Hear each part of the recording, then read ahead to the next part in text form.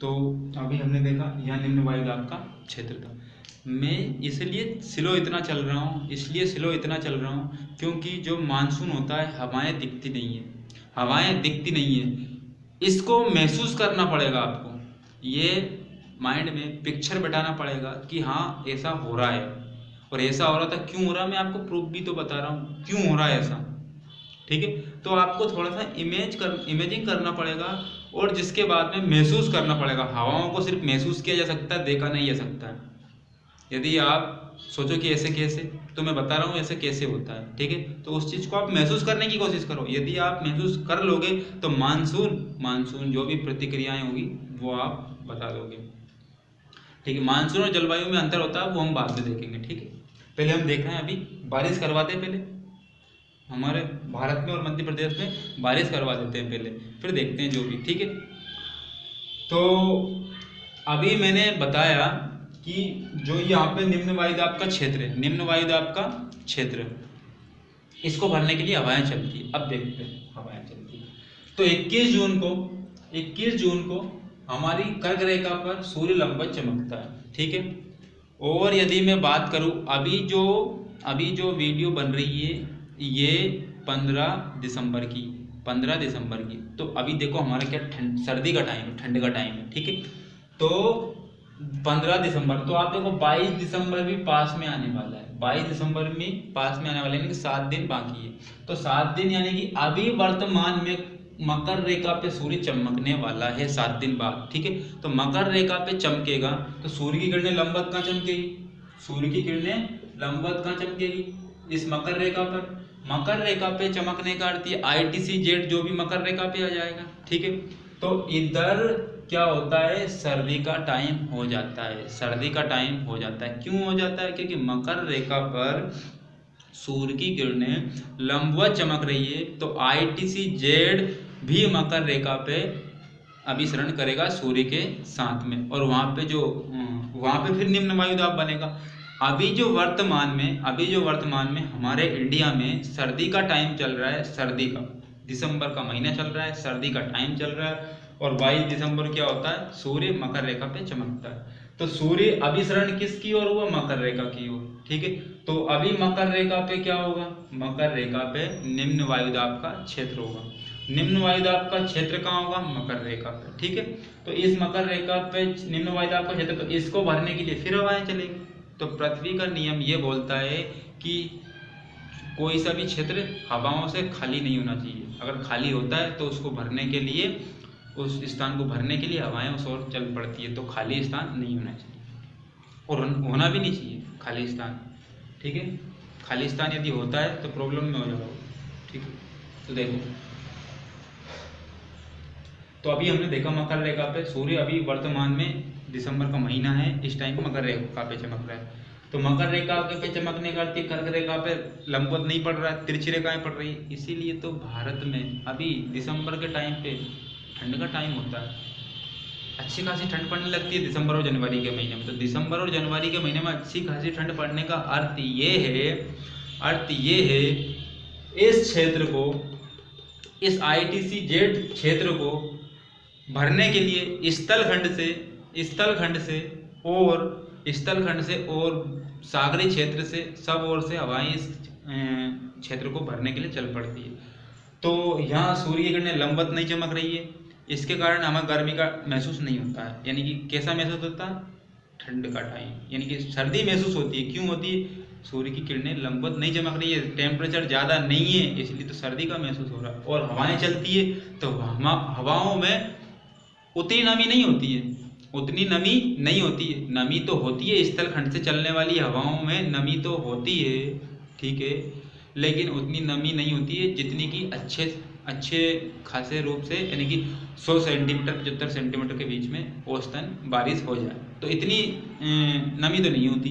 लेकिन जब हवाएँ चलती है उस क्षेत्र को भरने के लिए तो वो हवाएँ कैसी होती है? ठंडी। तो कुछ तो प्रभाव हमारी कर्क रेखा पे उसका पड़ेगा। कुछ तो प्रभाव कर्क रेखा पे उसका पड़ेगा, क्योंकि हमारे कर्क रेखा से, यानी कि जो हमारे जम्मू कश्मीर साइड से भी क्या चलेगी? हवाएँ चलेगी। और उनमें क्या होगी? नमी। तो हमें सर्दी वैसे भी महसूस होगी। और और वैसे भी सूर्य का, प्रकाश हमारी कर्क रेखा पर नहीं चमक रहा है, नहीं पड़ रही है किरणें तो भी हमारा जो कर्क रेखा पे जो टेम्परेचर रहेगा वो कम रहेगा। तो दो कारण हो गए। ठंडी हवाएँ, ठीक है। आपको मैं बता दूँ अभी कि जो ध्रुवों से चलने वाली हवाएँ क्या होती है? ठंडी होती है। ध्रुवों से चलने वाली हवाएँ क्या होती है? ठंडी। और भूमध्य सागरी ओर से गर्म हवाएँ चलती है, वो क्या होती है? गर्मी। भूमध्य रेखा भूमध्य रेखा से चलने वाली हवाएँ, वो गर्म हवाएँ होती हैं। और ध्रुवों से भूमध्य रेखा की ओर चलने वाली हवाओं में क्या होती है? नमी, यानी कि वो ठंडी होती है। तो यहाँ पे निम्न वायुदाब क्षेत्र, हवाएँ चलेंगी भरने के लिए, इनमें होगी नमी तो भारत से गुजरने, गुजरती है तो यहाँ क्या होती है, सर्दी का टाइम हो जाता है और सूर्य की किरणें लंबवत नहीं चमकती है तो भी सर्दी यहाँ पड़ने लगती है। अब जब सर्दी पड़ने लगती है तो अब हम बारिश करवाते हैं। अब हम कर्क रेखा पे आते कर्क रेखा पे सूर्य चमकाते अभी चमकाया, लेकिन और चमकाएँगे अब। तो कर्क रेखा पे इक्कीस जून को सूर्य लंबत चमका। कर्क रेखा पे सूर्य लंबत चमका। तो सूर्य लंबत चमकने का अर्थ ये कि सूर्य किरणें लंबवत डायरेक्ट ठीक है, तिरछी ना पड़ के सीधी किरणें कर्क रेखा पे पड़ रही है। तो कर्क रेखा पे पड़ रही है यहाँ वायुदाब का क्षेत्र क्या हो क्या हो गया? निम्न होगा ठीक है। अब जो पवने हैं, व्यापारिक पवने, जो भूमध्य सागर से चल सॉरी अरब सागर से, हिंद महासागर से चलने वाली हवाएँ, हिंद महासागर से चलने वाली हवाएँ, अब इस क्षेत्र को भरने के लिए इधर से भी आएँगी, इधर से भी आएँगी, इधर से भी आएँगी, ये नमी युक्त तो होगी, लेकिन इससे इतनी अच्छी खासी बारिश नहीं होती। बारिश तो होती है, पाँच से दस परसेंट, पाँच से दस सेंटीमीटर वर्षा होती है, पाँच से दस सेंटीमीटर वर्षा होती है। ठीक है? उतनी वर्षा क्या करेगी?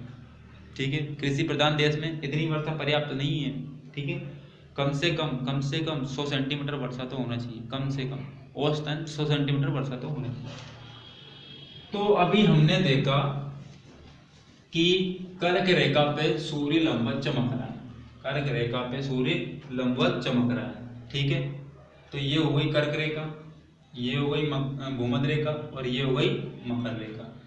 तो अब इधर से हवाएँ चलेंगी, इधर से हवाएँ चलेंगी, इधर से हवाएँ चलेंगी, ठीक है? तो मैं आपको बता दूँ, इधर से हवाएँ चलेंगी, ठीक है? क्यों? इधर से ही क्यों चल रही है? इधर से ही क्यों चल रही है? क्योंकि क्योंकि जो कर्क रेखा है, वहाँ पे कर्क रेखा है, वहाँ पे निम्न वायुदाब का क्षेत्र है। उसको भरने के लिए हवाएँ कहाँ चलेंगी?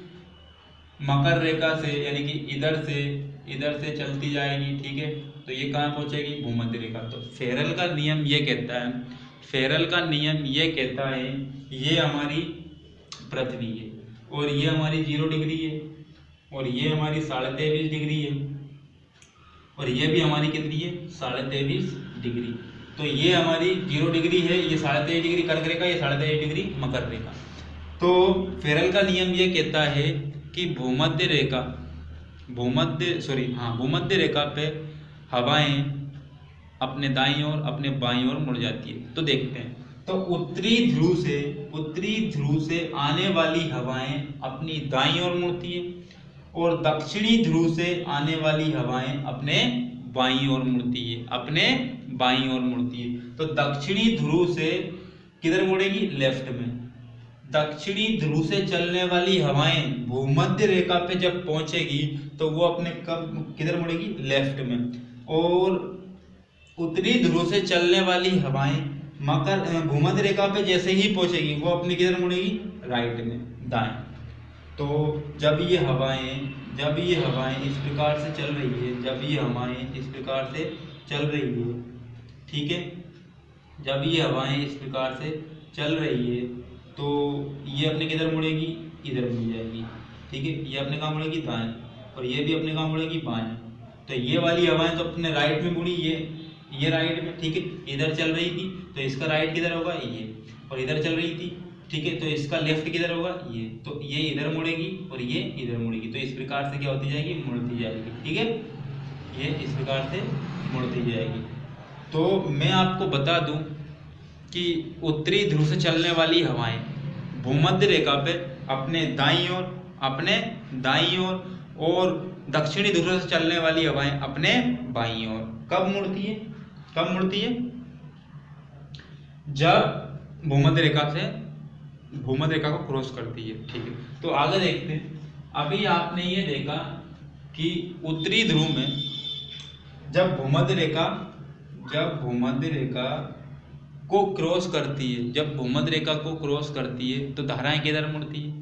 दाएँ यानी कि उत्तरी ध्रुव में चलने वाली हवाएँ अपनी दाई ओर मुड़ती है।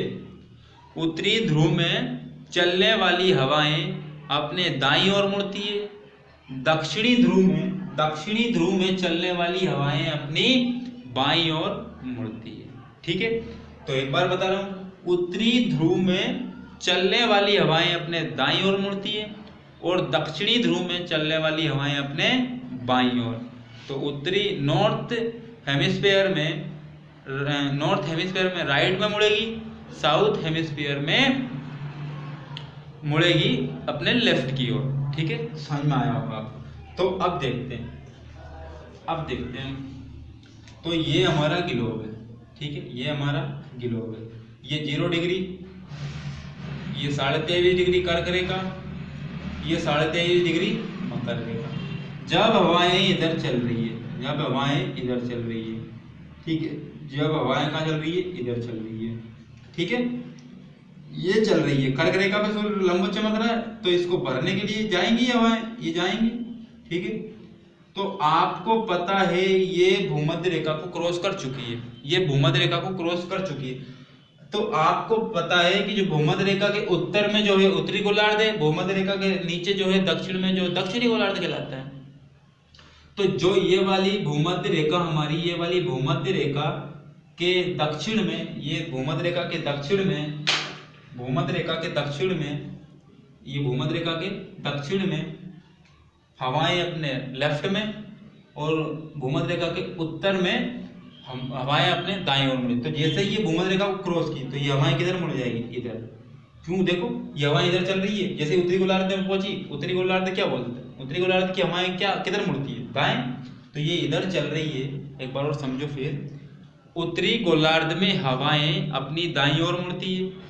और दक्षिणी गोलार्ध में हवाएँ अपने बाई ओर मुड़ती तो जब ये हवाएँ भूमध्य रेखा को क्रॉस करेंगी और पहुंचेंगी उत्तरी गोलार्ध में, और उत्तरी गोलार्ध में हवाएँ किधर मुड़ती है? अपने दाएँ। जब ये इधर हवाएँ जा रही है, ये इधर जा रही है तो इनका दाएँ किधर हो इधर। तो ये हवाएँ इधर ही मुड़ेंगी। ये मुड़ गई हवाएँ, ठीक है? इधर मुड़ी।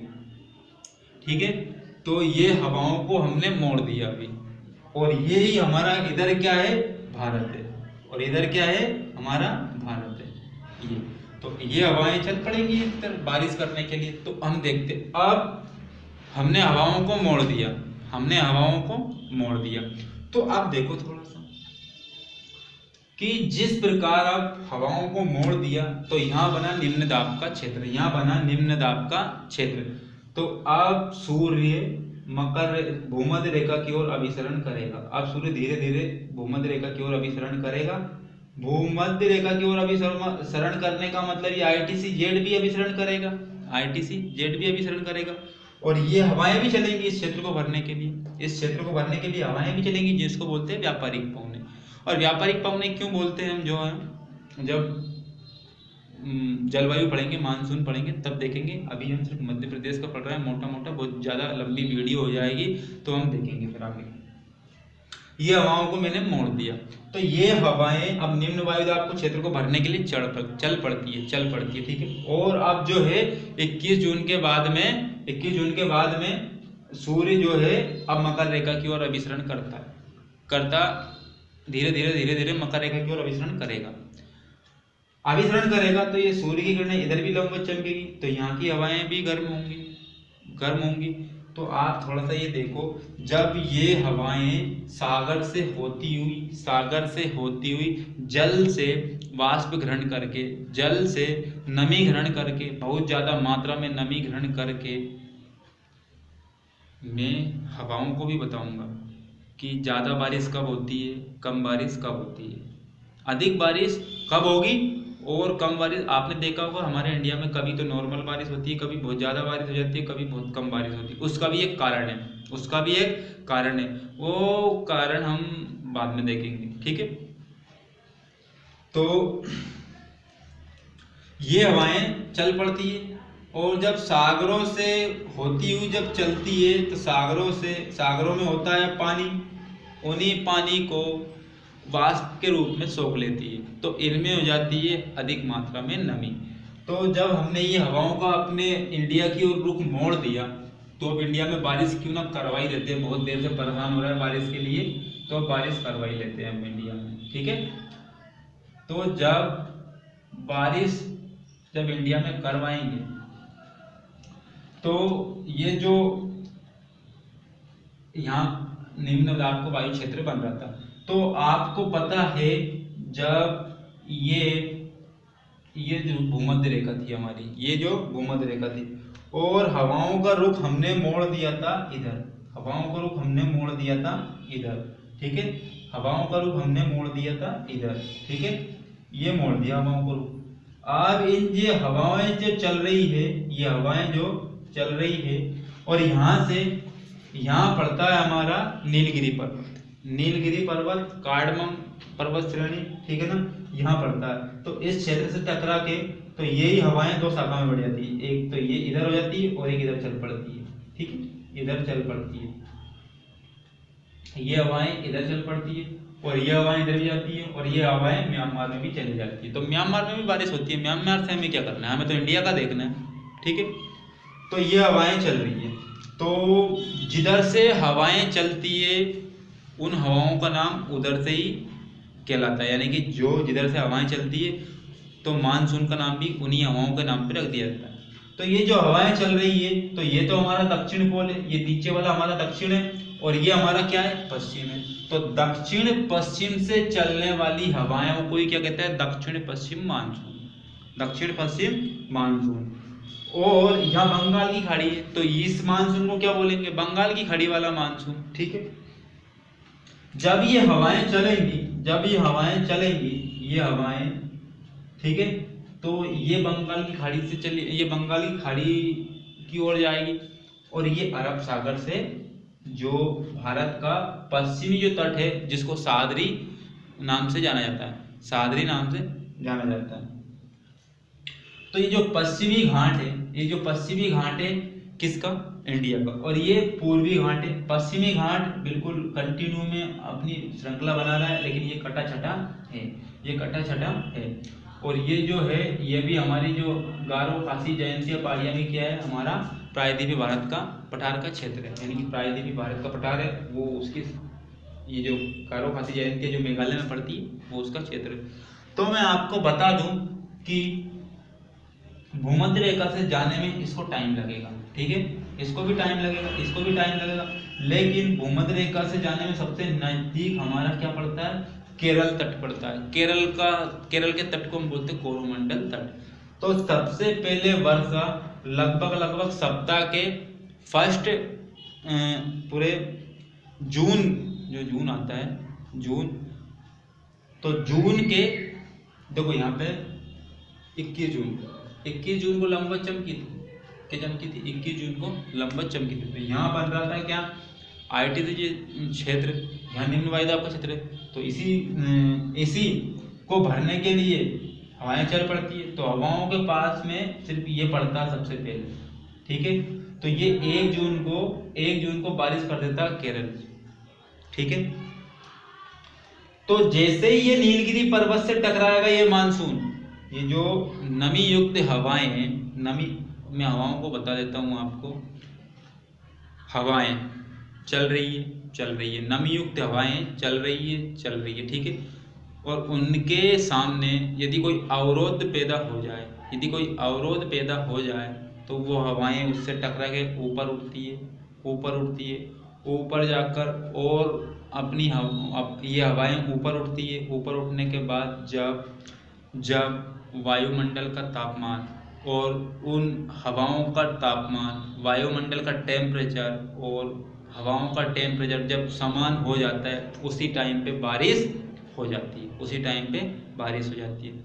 जैसे कि जिस प्रकार वायुमंडल का टेम्परेचर है, जिस प्रकार वायुमंडल का टेम्परेचर है, उसी प्रकार यदि टेम्परेचर हवाओं का भी हो जाता है, उतना ही टेम्परेचर हवाओं का, यानी कि वायुमंडल और हवाओं का टेम्परेचर इक्वल तो उसी नमीयुक्त हवाओं हवाएँ अपनी जो वाष्प था, अपना जो पानी के रूप में जो वाष्प ग्रहण किया था, वो नीचे बरसा देती है, ठीक है? तो ये जब नीलगिरी पर्वत श्रेणी से टकराएँगी, ये हवाएँ नीलगिरी पर्वत श्रेणी से टकराएँगी, ये हवाएँ तो ये हवाएँ नीलगिरी पर्वत से टकरा के ऊपर उठेंगी। ऊपर उठेंगी तो वायुमंडल का टेम्परेचर और हवाओं का टेम्परेचर बिल्कुल समान हो जाएगा। और जैसे ही समान हुआ तो अपनी जो है ना, वाष्प, जो वाष्प के रूप में पानी ग्रहण किया था, वो छोड़ देंगे। ठीक है? तो नीलगिरी पर्वत पे इनकी बारिश होती है तीन सौ मीटर, लगभग लगभग साढ़े तीन सौ सेंटीमीटर वर्षा कितनी सेंटीमीटर वर्षा होती है? साढ़े तीन सौ। और आपको मैं बता दूँ थोड़ा सा कि साढ़े तीन सौ वर्षा यहाँ होती है। चलो ठीक है, आगे बात करेंगे। तो ये जो नीलगिरी पर्वत श्रेणी जो केरल, कर्नाटक, तमिलनाडु में फैली है तो उसमें नीलगिरी पर्वत से टकरा करके हवाएँ ऊपर उठती है और बारिश होने का कारण ये है, बारिश होने का कारण ये है कि बारिश उन नमीयुक्त हवाओं के अवरोध होना ज़रूरी है। अगर अवरोध नहीं होगा तो बारिश नहीं होगी। चाहे कितनी भी नमी युक्त हवाएँ हों, अवरोध तो होना, अवरोध तो होगा ही होगा। अगर अवरोध होगा तो बारिश होगी। ठीक है, देखते हैं। तो यहाँ पर जो मानसून सबसे पहले एक जून को, एक जून को एक जून को केरल में वर्षा करता है। केरल में वर्षा करता है। केरल में वर्षा करता है तो ये मानसून की पहली वर्षा होती है। तो केरल में वर्षा जैसे नीलगिरी से टकराया और केरल में वर्षा हुई तो इसी को हम बोलेंगे मानसून विस्फोट। तो मानसून विस्फोट पे सबसे पहले केरल में होता है। मानसून विस्फोट सबसे पहले केरल में होता है। तो केरल से जब एक जून को बारिश हुई तो यही मानसून की जो हवाएँ नमीयुक्त हवाएँ साढ़े तीन सौ सेंटीमीटर वर्षा कर दी। अभी भी और नमी है इनमें। तो अभी ये जो है पश्चिमी घाट, यानी कि सादरी पर्वत के सारे और सादरी पर्वत के सारे, यानी कि पश्चिमी घाट के सारे आगे बढ़ता जाता है। आगे बढ़ता जाता है। आगे बढ़ता जाता है और जो ये दर्रे हैं दर्रे हैं इससे इससे मैं बता दूँगा आपको जिधर जिधर बारिश होगी तो मैं आपको यहाँ बता रहा जिधर बारिश होगी, उधर तो हम बारिश का क्षेत्र बोल देंगे, लेकिन मैं ये बोल रहा हूँ, ये जो है और ये चोटी है हमारी, ठीक है? ठीक है? ये चोटी। है तो बादल आए बादल आए हमारे, ठीक है? इनमें नमी है। तो ये होके कहाँ उठे? ऊपर उठे। तो ये ऊपर उठे, ठीक है? तो ये ऊपर उठेंगे तो ये अपनी क्या कर देंगे? बारिश कर देंगे।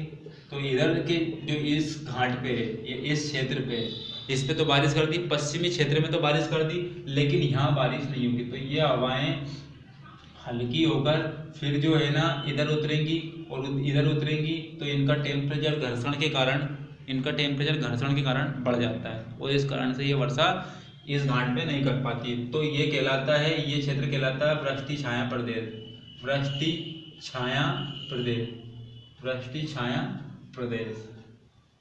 ठीक है? वृष्टि छाया प्रदेश कहलाता है।